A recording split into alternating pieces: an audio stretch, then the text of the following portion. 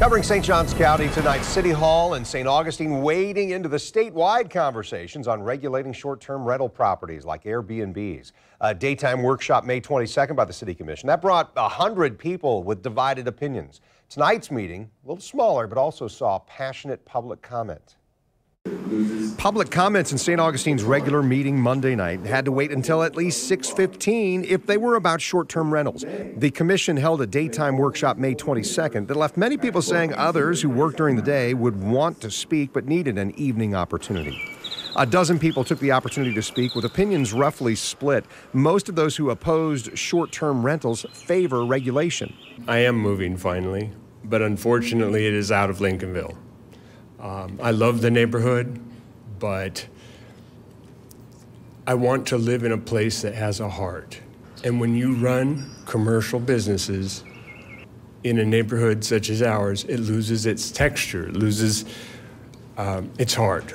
Uh, first, our home is our sanctuary, and we did not want the parade of people coming in and out of our property on a daily basis. Second, we thought it was important to maintain the character of our neighborhood. It's the non-owner occupied short-term rentals that I think are a real issue because every time um, a neighbor moves out and one of those things takes over, uh, it's like punching a hole in the fabric of the neighborhood. Some told the city commission they don't want regulation, but they do support the city looking at all the options. Others just clearly want the opportunity to rent in a respectful and profitable way.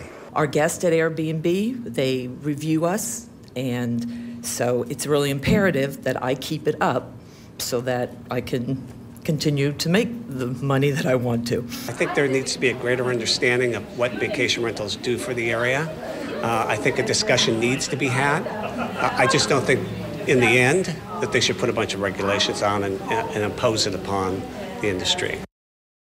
The City Commission wants to form a seven-person committee that will look into regulating the short-term rental industry in St. Augustine. Applications for the committee, they're due this Wednesday, and then appointments to the committee will take place in two weeks.